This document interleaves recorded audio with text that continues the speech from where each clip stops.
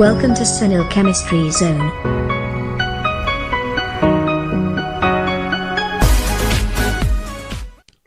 નમસ્તે વિદ્યાર્થી મિત્રો. લાસ્ટ આપણે જે ટોપિક જોઈ ગયા એમાં હેલો આલ્કેન્સની બનાવટ આલ્કોહોલ સંયોજનોમાંથી અલગ અલગ મેથડ દ્વારા સમજી ગયા, બરાબર? હવે આજના લેક્ચરમાં હેલો આલ્કેન્સ બીજી કઈ પદ્ધતિથી બનાવી શકાય છે એના વિશે સમજવાનો પ્રયત્ન કરીએ. એમાં બનાવટ નંબર બે આપી છે આપણને હાઇડ્રોકાર્બનમાંથી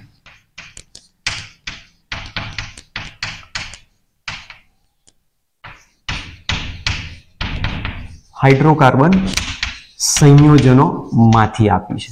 બરાબર? હાઇડ્રોકાર્બન તરીકે આપણે ભણી ગયેલા છીએ ધોરણ અગિયારની અંદર. આલ્કેન, આલ્કીન, આલ્કાઇન એરિન્સ એવા અલગ અલગ પ્રકારના સંયોજનો હોઈ શકે છે. આપણે બનાવવાનો છે હેલો આલ્કીન. તો હેલો આલ્કીન બનાવવા માટે જનરલી આપણે અહીંયા આલ્કેન, આલ્કીન અથવા આલ્કાઇન પણ વાપરી શકીએ છીએ. જે આપણને આપ્યું છે એ મુજબ સમજવાનો પહેલા પ્રયત્ન કરીએ. સૌથી પહેલા આપણે બનાવટ અહીંયા સમજીશું. આલ્કીનના હેલોજીનેશન દ્વારા આલ્કેનના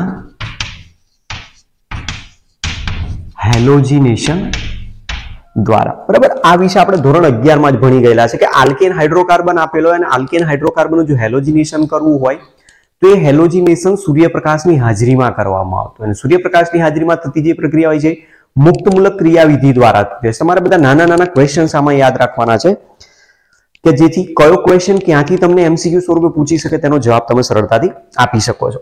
તો જુઓ, સૌથી પહેલો પોઈન્ટ જે આપ્યો છે મુજબ આલ્કેનના હેલોજીનેશન દ્વારા. તો પહેલા આપણો પ્રશ્ન જે છે મુજબ કે આલ્કેન સંયોજન છે, આલ્કેનનું હેલોજીનેશન મુક્તમૂલક ક્રિયાવિધિ દ્વારા જોવા મળે છે. મુક્તમૂલક ક્રિયાવિધિ દ્વારા થાય છે.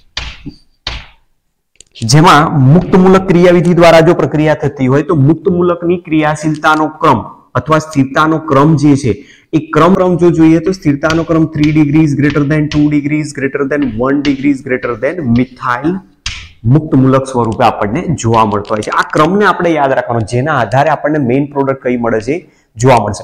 સામાન્ય રીતે જે આલ્કિનનું હેલોજિનેશન જોવા મળે છે આલ્કિનનું હેલોજિનેશન તમે ડાય હેલોજન તરીકે કોનો ઉપયોગ કરો છો? ફ્લોરિન, બ્લોમિન, ક્લોરિન, આયોડિન કોનો યુઝ કરો છો? કયા અણુ? F two CL two BR two કે આઈ ટુ નો યુઝ કરો છો? હવે એમાં કોની સાથે પ્રક્રિયા આપે છે એ મેઇન પ્રશ્ન છે અહીંયા.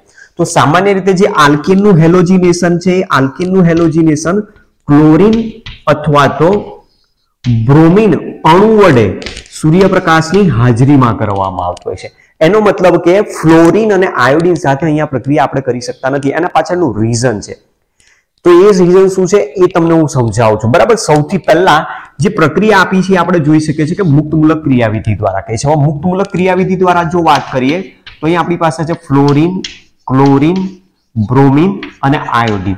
તો આ મુજબ જો જોવા જઈએ તો આની બંધ વિયોજન એન્થાલ્પી સૌથી ઓછામાં ઓછી છે. એના પાછળનું કારણ એક તો નાનું કદ અને સૌથી વધારે વિદ્યુત ઋણી પરમાણુ છે. એના ઇલેક્ટ્રોન ઇલેક્ટ્રોન વચ્ચે અપાકર્ષણ પ્રબળતાથી થાય. એટલે બંધ વિયોજન એન્થાલ્પી આની એક સૌથી ઓછામાં ઓછી. એક રીઝન આ છે. નંબર બે, કે જ્યારે પ્રક્રિયાઓ દર્શાવવામાં આવે છે, ત્યારે એ પ્રક્રિયા ખૂબ જ પ્રચંડ ઊર્જા લિબરેટ કરતી હોય છે. મતલબ હાઈલી એક્ઝોથર્મિક રિએક્શન છે. અને એટલા માટે પ્રક્રિયા ફ્લોરિનેશન જો કરવામાં આવે, તો એક્સપ્લોઝિવ રિએક્શન છે, મતલબ વિસ્ફોટક પ્રક્રિયા છે. એટલે પ્રક્રિયા જે બતાવી છે મુજબ કે હેલોજિનેશનની જો પ્રક્રિયા કરવામાં આવે તો ફ્લોરિન વડે પ્રક્રિયા કરો. તો ફ્લોરિનેશન ક્લોરિન વડે કરીએ તો ક્લોરિનેશન બ્રોમિન વડે કરીએ તો બ્રોમિનેશન અને આયોડિન વડે કરીએ તો આયોડિનેશન જેમાં ફ્લોરિન સાથેની પ્રક્રિયા સામાન્ય રીતે ઇન્ડસ્ટ્રી લેવલે લગભગ કરવામાં આવતી નથી. મતલબ ફ્લોરિનેશન દ્વારા ફ્લોરો આલ્કેન લગભગ બનાવવામાં આવતો નથી. એના પાછળનું જે રીઝન છે, એ રીઝન આપણી પાસે આ છે કે એક તો ફ્લોરિનની બંધ વિયોજન એન્થાલ્પી. બંધ વિયોજન એન્થાલ્પીનું ખૂબ નીચું મૂલ્ય. એક રીઝન આ કામ કરે છે કે બંધ વિયોજન એન્થાલ્પી બહુ જ એની નીચી છે. એટલે બંધ એકદમ ઇઝીલી તૂટી જાય છે એવું કહી શકાય.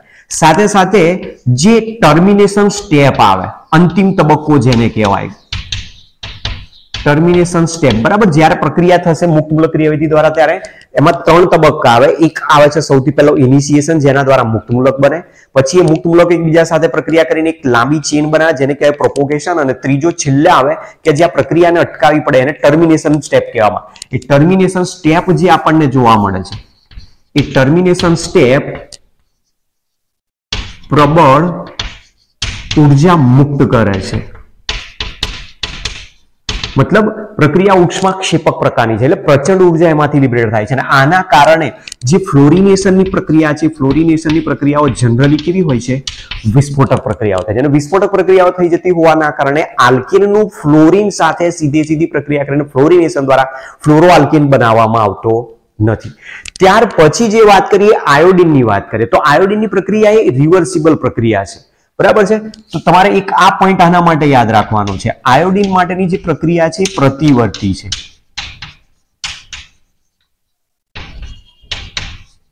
તો જનરલી દાખલા તરીકે માનો કે મિથેન છે. મિથેનની પ્રક્રિયા આઈ વડે કરવામાં આવે સૂર્યપ્રકાશની હાજરીમાં. તો આ પ્રક્રિયા કેવી છે? રિવર્સિબલ તો પેલા નિપજ તો બનશે સીએસ થ્રી આઈ અને એચ આઈ છૂટો પડી જશે. પણ થશે શું? તરત જ પ્રક્રિયા. પ્રતિગામી દિશામાં પાછી જશે અને એના કારણે હાઇડ્રોજન આયોડાઇડનું વિઘટન થઈ જશે. હાઇડ્રોજન આયોડાઇડનું વિઘટન થઈ જશે તો પાછો આઈ બની જશે, મિથેન પાછો છૂટો પડી જાય. તો મતલબ જે આયોડો, આલ્કેન આયોડો, મિથેન બન્યો છે આયોડો મિથેનનું પ્રમાણ ઓછું થઈ જાય.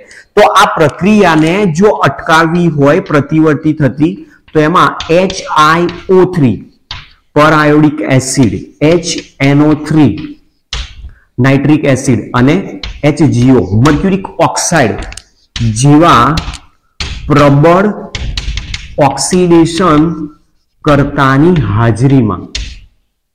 પ્રબળ ઓક્સિડેશન કરતાની હાજરીમાં પ્રતિવર્તી પ્રક્રિયા અટકાવી શકાય છે. બરાબર? તો પહેલા આ બે પોઈન્ટ તમારે એમસીયુ માટે ખાસ યાદ રાખવાના છે કે આલ્કેનનું સીધે સીધું ફ્લોરિનેશન દ્વારા ફ્લોરો આલ્કિન શા માટે નથી બનાવી શકાતું? સીધે સીધા આયોડિનેશન દ્વારા આયોડો આલ્કિન શા માટે નથી બનાવી શકો તો એમાં એક ડ્રોબેક જે બતાવે છે મુજબ કે આ પ્રક્રિયા ખૂબ જ વિસ્ફોટક છે. જ્યારે આ પ્રક્રિયા કેવી છે? પ્રતિવર્તી. તો પ્રક્રિયાને પ્રતિવર્તી અટકાવી હોય ને આયોડો આલ્કેન જો મેળવવો હોય તો આવા કોઈક પ્રબળ ઓક્સિડેશન કરતાની હાજરીમાં પ્રક્રિયા કરીને તમે પ્રતિવર્તી પ્રક્રિયાને અટકાવી શકો છો. મતલબ કઈ રીતે થાય છે? તો જુઓ, જે એચ બને છે, એ એચ સાથે માની લો કે એચ પ્રક્રિયા કરી નાખે. પર આયોડિક એસિડ. પર આયોડિક એસિડ જો પ્રક્રિયા કરશે તો અહીંયાથી આયોડિન લિબરેટ કરી નાખશે. એટલે આઈ ટુ બનાવી દેશે, પ્લસ એચ છૂટા પાડી દેશે. અને એ જે આઈ ટુ છૂટો પડ્યો, એ જ ફરીથી આની આગળ પ્રક્રિયા લઈ જશે. એ પ્રમાણે પ્રક્રિયાને પુરોગામી દિશામાં લઈ જઈ શકે છે. હવે બાકી રહ્યા આ બે છે, ક્લોરીન અને બ્રોમિન અણુ. તો ડાયક્લોરિન અને ડાયબ્રોમિન સાથે આલ્કેન, હાઇડ્રોકાર્બન સીધી જ પ્રક્રિયાઓ સૂર્યપ્રકાશની હાજરીમાં ઇઝીલી આપી શકે છે. દાખલા તરીકે, જો ક્લોરિનેશનની વાત કરીએ આલ્કેનનું ક્લોરિનેશન અને આલ્કેનની જગ્યાએ અહીંયા હું લઉં છું? મિથેનનું ક્લોરિનેશન. જેના વિશે આપણે ઓલરેડી ભણી ગયેલા છીએ. ધોરણ અગિયારમાં આવતું હતું. બરાબર છે? હાઇડ્રોકાર્બન ચેપ્ટરમાં મિથેનનું ક્લોરિનેશન કરવામાં તો સીએચ ફોર ગેસ પ્લસ એની પ્રક્રિયા આપવાની છે ક્લોરિન વાયુ સાથે કોની હાજરીમાં છે? સૂર્યપ્રકાશની હાજરીમાં. તો એક હાઇડ્રોજન અહીંયાથી દૂર થશે, ક્લોરીન દૂર થશે અને બંને મુક્ત મૂલક સ્વરૂપે દૂર થાય. પછી જે ક્લોરીન મુક્ત મૂલક અને મિથાઇલ મુક્ત મૂલક છે, એ બંને જોડાય અને નિપજ બનાવે સીએસ થ્રી સીએલ અને અહીંયાથી છૂટો પડી જશે એચસીએલ આગળ ફરીથી પ્રક્રિયા થશે બીજી વખતે. તો અલ્ટ્રાવાયોલેટ કિરણોની હાજરીમાં પ્રક્રિયા થાય, તો સીએચ ટુ સીએલ ટુ બનાવશે. ફરીથી આગળ પ્રક્રિયા થશે, તો સીએસ સીએલ થ્રી બનાવશે. અને ફરી આગળ જો પ્રક્રિયા થશે તો CCl4 આવા ચાર અલગ અલગ આઈસોમર સમઘટકો બનાવે છે. અને ચાર સમઘટકોનું મિશ્રણ મળે છે કે જેમાં દરેકે દરેક સમઘટકોના બોઇલિંગ પોઈન્ટ ખૂબ જ ક્લોઝ હોય છે એકદમ. અને ક્લોઝ હોવાના કારણે એને પછી તમારે ડિસ્ટિલેશન મેથડથી અથવા કોઈ પદ્ધતિથી અલગ કરવું ઘણું મુશ્કેલ પડી શકે છે. પણ ઇન્દ્રભાઈએ એવું કહેવા માંગીએ છીએ કે જ્યારે આલ્કેનનું ક્લોરિનેશન સૂર્યપ્રકાશની હાજરીમાં કરવામાં તો જે આલ્કિન એસપી થ્રી હાઇબ્રિડાઇઝ છે, એની પાસે જેટલા પણ હાઇડ્રોજન છે દરેકે દરેક હાઇડ્રોજનનું વિસ્થાપન કરી શકે છે. અને એના દ્વારા અલગ અલગ સમઘટકોનું મિશ્રણ આપે છે, જે મિશ્રણને સરળતાથી અલગ કરી શકાતા નથી. એટલા માટે કહી શકાય કે ઇન્ડસ્ટ્રી લેવલે હેલો આલ્કિન બનાવવો હોય તો તમારે સમઘટકોના મિશ્રણને પછી અલગ કરવાની થોડીક મેથડ પણ વધારે, મતલબ વધારે પડતી કોસ્ટલી પણ થઈ શકે છે. તો આ આપણી સાથે વાત થઈ ગઈ ક્લોરિનેશનની. હવે માની લો કે આમાં વધુ કાર્બન ધરાવતા જો આલ્કિન હોય તો નિપજો કઈ રીતે મળી શકે છે એને પણ સમજે બરાબર છે? એટલે સૌથી પહેલા તમારા જે એમસીક્યુ છે એમસીક્યુ તમારે આ ધ્યાન રાખવાનું. સંયોજન છે મિથેન ક્લોરિનેશન કરાવ્યું એટલે ક્લોરોમિથેન બનાવે છે. ફરી આગળ ક્લોરિનેશન થાય એટલે ડાયક્લોરોમિથેન બને. ફરી આગળ ક્લોરિનેશન થાય એટલે ટ્રાયક્લોરોમિથેન, જેને આપણે ક્લોરોફોર્મ તરીકે નામ આપીએ છીએ. ફરીથી આગળ ક્લોરિનેશન થશે એટલે ટેટ્રાક્લોરોમિથેન, જેને કાર્બન ટેટ્રાક્લોરાઇડ તરીકે ઓળખવામાં આવે છે. બરાબર? નોંધ કરો, પહેલા આ જે પોઈન્ટ આપ્યા છે ચલો તો ખ્યાલ આવી ગયો હશે તમને ટોપિકમાં કે અહીંયા ટોપિકમાં મેઇન મેઇન ક્વેશ્ચન આપણે કયા ધ્યાન રાખવાના છે, ક્યાંથી ક્વેશ્ચન શું પૂછી શકે છે. તો આપણી જે અહીંયા પ્રક્રિયા આપેલી છે, એ આલ્કેન હાઇડ્રોકાર્બનનું ક્લોરિનેશન અને બ્રોમિનેશન દ્વારા તમે ક્લોરો આલ્કેન અને બ્રોમો આલ્કેન ઇઝીલી લેબોરેટરીમાં બનાવી શકો છો. એના ઉપર ફોકસ કરે છે. તો આપણો જે એક્ઝામ્પલ હતો, એ એક્ઝામ્પલમાં હવે બીજો એક્ઝામ્પલ લઈએ. ધારો કે ઇથેન છે સીએસ થ્રી સીએસ થ્રી ઇથેનનું જો ક્લોરિનેશન કરવામાં આવે, સૂર્યપ્રકાશની હાજરીમાં. તો ઇથેનના ક્લોરિનેશનથી નિપજ શું મળે? તો અહીંયા તમે જોઈ શકો છો, જુઓ, આ કાર્બન પ્રાથમિક છે અને આ કાર્બન પ્રાથમિક છે. તો મતલબ નિપજ કઈ બનશે? એ ડિપેન્ડ કયા પ્રકારના કાર્બન છે એના ઉપર છે. કારણ કે મુક્ત મૂલક ક્રિયાવિધિ દ્વારા પ્રક્રિયા છે, તો જે પ્રકારના કાર્બન હશે એ પ્રકારના. મુક્ત મૂલક બનાવી શકે પ્રાથમિક કાર્બન છે, તો બંને છેડા ઉપરથી પ્રાથમિક મુક્ત મૂલક જ બને છે. તો નિપજ અહીંયા એક જ આપી શકશે. એટલે જે નિપજ આપશે chloro ethane CH three CH two CL plus HCl છૂટો પડી જાય. તો એક આ રીતે નિપજ મળી શકે છે પણ સપોઝ માની લઈએ કે અલગ અલગ કાર્બન છે હાજર. CH3 CH2 CH3 પ્રોપેન આપ્યો છે. પ્રોપેનમાં જે છેડા ઉપર હોય હંમેશા પ્રાથમિક કાર્બન હોય. અને એ પ્રાથમિક કાર્બન સાથે અહીંયા એક કાર્બન જોડાયેલો છે. તો આ જે વચ્ચેનો કાર્બન છે બીજા બે કાર્બન સાથે જોડાયેલો એટલે દ્વિતીય કાર્બન થયો. તો મતલબ અહીંયા બે મુક્ત મૂલક બનાવશે. આ બંને છેડા ઉપરથી પ્રાથમિક મૂલક અને અહીંયાથી બનશે સેકન્ડરી મુક્ત મૂલક. તો તમારે ધ્યાન શું રાખવાનું? જે મુક્ત મૂલક છે એ મુક્ત મૂલકની સક્રિયતાનો ક્રમ અથવા સ્થિરતાનો ક્રમ આપણી પાસે આ રીતનો છે.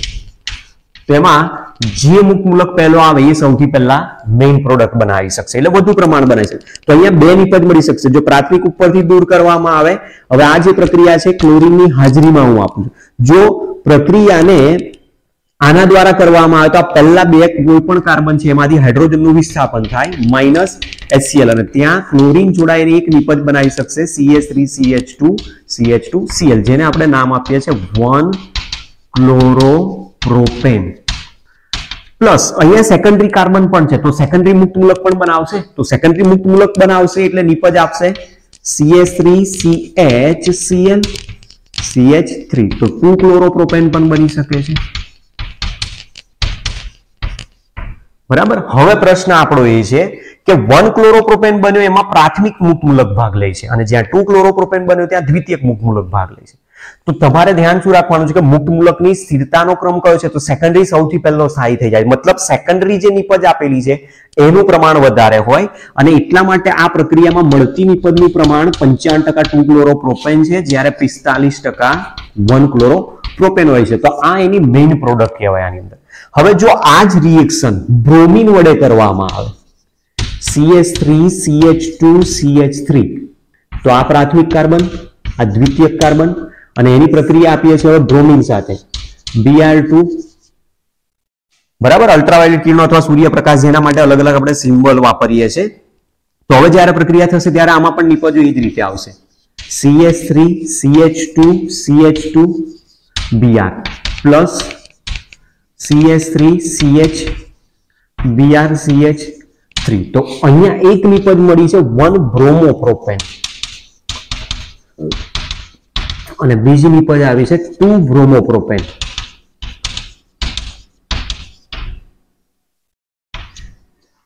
બરાબર? બંનેમાં નિપજ મેઇન પ્રોડક્ટ તરીકે તો કોણ આવશે? સેકન્ડરી ટુ બ્રોમોપ્રોપેન અથવા ટુ ક્લોરોપ્રોપેન પણ હા, બંનેમાં એક ડિફરન્ટ છે કે જે મુક્તમૂલક ક્રિયાવિધિ દ્વારા જે પ્રક્રિયા થાય છે, એમાં ક્લોરીન અને બ્રોમિનમાંથી બ્રોમિન સૌથી ઝડપથી ઇઝીલી મુક્તમૂલક બનાવી શકે, એટલે એ સૌથી વધારે પ્રમાણમાં નિપજ આપી શકશે. તો જ્યારે એક જ પ્રક્રિયક સાથે ક્લોરિન અને બ્રોમિનની પ્રક્રિયા કરવામાં આવે, ત્યારે જે મળતી નિપજો છે, એ નિપજોના પ્રમાણ પણ અલગ અલગ હોય છે. જેમાં વન બ્રોમોપ્રોપેનનું પ્રમાણ ટ્વેન્ટી જોવા મળે છે. જ્યારે ટુ બ્રોમોપ્રોપેન સેવન્ટી ટુ જેટલો જોવા મળે છે. મતલબ જો પ્રક્રિયા બ્રોમિન સાથે કરવામાં આવશે. તો વધુ પ્રમાણમાં એ મુખ્ય નિપજ હેલો આલ્કિન તરીકે બનાવી શકે છે. બરાબર? તો આ પ્રકારનો જે પ્રશ્ન આપ્યો છે એ તમારે ખાસ આના ઉપરથી ધ્યાન રાખવાનું માની લો કે પ્રક્રિયક આપણને આ રીતે આપ્યો છે. સાયક્લોપેન્ટેન જેને કહીએ છીએ. સાયક્લોપેન્ટેનનું જો ક્લોરિનેશન કરવામાં આવે, સૂર્યપ્રકાશની હાજરીમાં, તો દરેકે દરેક કાર્બન એક સરખા છે. ગમે ત્યાં ક્લોરિનેશનની પ્રક્રિયા આપી શકશે. તો નિપજ અહીંયાથી કોઈ પણ કાર્બન સાથે તમે મુક્ત મૂલક ક્રિયાવિધિ દ્વારા નિપજ બનાવો, તો ક્લોરોસાયક્લોપેન્ટેન બની જશે. ક્લોરોસાયક્લોપેન્ટેન ઉદાહરણ નંબર પાંચ. માની લો કે પ્રક્રિયા આ રીતનો પ્રક્રિયક વાપરેલો છે. અહીંયા સીએસ થ્રી છે. અને આનું ક્લોરિનેશન દ્વારા પ્રક્રિયા બતા તો હવે તમારે ધ્યાન રાખવાનું છે કે કાર્બન અલગ અલગ છે હવે. જેમાં કાર્બન જે બતાવે છે મુજબ, આ જે કાર્બન છે એનો પ્રકાર છે પ્રાથમિક. આ જે કાર્બન છે એનો પ્રકાર છે દ્વિતીયક. આનો પ્રકાર છે દ્વિતીયક. અને આ જે સેન્ટરનો કાર્બન છે એ થ્રી ડિગ્રી કાર્બન છે. તો હવે અલગ અલગ કાર્બન થઈ ગયા. કાર્બન અલગ અલગ છે. દરેકે દરેક કાર્બન એસપી થ્રી છે. મુક્ત મૂલક ક્રિયાવિધિ હંમેશા એસપી થ્રી કાર્બન હોય. એના ઉપર જ પ્રક્રિયા થાય. બરાબર છે? મુક્ત મૂલક હંમેશા sp3 કાર્બન જ બનાવી શકે છે ઇઝીલી અને એના ઉપર પ્રક્રિયાઓ આલ્કેનની જોવા મળતી હોય છે. તો અહીંયા તમારે ધ્યાન રાખવાનું છે કે આ બધા જ sp3 કાર્બન જ છે આપેલા. અને sp3 કાર્બન હોય તો આ પ્રાથમિક છે, આ બે દ્વિતીયક છે અને આ તૃતીયક છે. તો ત્રણેય જગ્યાએ મુક્ત મૂલક બની શકશે, પ્રાથમિક પણ બની શકશે, દ્વિતીયક પણ બની શકશે અને તૃતીયક પણ બની શકશે. મતલબ ત્રણ સમઘટકો મળી શકે નિપજ તરીકે. એમાંય મેઇન પ્રોડક્ટ કોણ આપશે? માત્ર થ્રી ડિગ્રી હશે, એ જ આપશે. તો આ પ્રક્રિયા માટેની જે મુખ્ય નિપજ છે, એ મુખ્ય નિપજ તમને આ રીતે મળશે. અહીંયા CH three as it is રહી જશે અને અહીંયા જોડાઈ જશે સીએલ ટુ બરાબર? એટલે આ મુખ્ય નિપજ કહેવાય. એટલે ક્યારેક ક્યારેક પ્રશ્ન તમને પૂછી નાખે છે કે મિથાઇલ સાયક્લોપેન્ટેનનું ક્લોરિનેશન દ્વારા મળતી બધી જ નિપજો દર્શાવી મુખ્ય નિપજ જણાવો. તો આ મુખ્ય નિપજ છે. તો બીજી કઈ કઈ નિપજો મળી શકે? જે તમારી જાણકારી માટે લખું છું. એક પ્રાથમિક કાર્બન છે, ત્યાંથી મુખ્ય એક નિપજ મળશે. જે ગૌણ નિપજ કહેવાય. તો અહીંયા બની જશે સીએચ ટુ સીએલ ત્રીજી, આ બંને એક સરખા જ છે. તો બેમાંથી કોઈ પણ કાર્બન ઉપર તમે એનું વિસ્થાપન દર્શાવી શકો છો. તો અહીંયા આવશે સીએસ અને અહીંયા આવી જશે સીએલ તો આ જે બંને આપી છે, એ કઈ કહેવાય? ગૌણ નિપજો તરીકે ઓળખવામાં છે. બરાબર? એટલે આ પ્રકારની પ્રક્રિયા એની અંદર પોસિબલ છે. તો આ રિએક્શન્સ તમારી પાસે, જ્યારે પણ પ્રશ્ન આવે ત્યારે ધ્યાન રાખવાનું. આલ્કેન હાઇડ્રોકાર્બનમાંથી જ્યારે પણ તમને ક્લોરો આલ્કેન બ્રોમો આલ્કેન બનાવવાનું કે, ત્યારે તમારે ધ્યાન રાખવાનું છે કે બ્રોમો આલ્કેનની પ્રક્રિયા ખૂબ જ ઝડપથી થાય છે. મતલબ અરે સોરી બ્રોમો આલ્કેનનું બ્રોમિનેશન આલ્કેનનું જ્યારે કરવામાં આવે ત્યારે બ્રોમિનેશન દ્વારા મળતી નિપજનું પ્રમાણ વધારે હોય છે, ક્લોરિનેશન દ્વારા મળતી નિપજનું પ્રમાણ ઓછું હોય છે. સાથે સાથે જ્યારે એક કરતા વધુ અલગ અલગ કાર્બન ધરાવતા જો આલ્કીન આપેલા હોય તો એમાં જે કાર્બન વધુ સ્થાયી મુક્ત મૂલક બનાવી શકે એ જ મુખ્ય નિપજ બનાવી શકે છે, એવું કહી શકાય. ફ્લોરિનેશન કે આયોડિનેશન દ્વારા કોઈ દિવસ ઇન્ડસ્ટ્રી લેવલે ઇઝીલી હેલો આલ્કેન બનાવી શકાતો નથી, કારણ કે ફ્લોરિનેશનની પ્રક્રિયા વિસ્ફોટક છે, જ્યારે આયોડિનેશનની પ્રક્રિયા પ્રતિવર્તી છે. વિસ્ફોટક પ્રક્રિયા હોવાનું કારણ? F2 ની નીચી બંધ વિયોજન એન્થાલ્પી અને જે ટર્મિનેશન સ્ટેપ છે એ ખૂબ જ ઉષ્માક્ષેપક પ્રક્રિયા બતાવતો હોય છે. પ્રચંડ ઊર્જા ઉત્પન્ન કરી એટલે પ્રક્રિયા એક્સપ્લોઝિવ થઈ જાય. જ્યારે આયોડિનેશનની પ્રક્રિયાને પ્રતિવર્તી જો અટકાવી શકીએ, તો આયોડો આલ્કેન બની શકાય છે.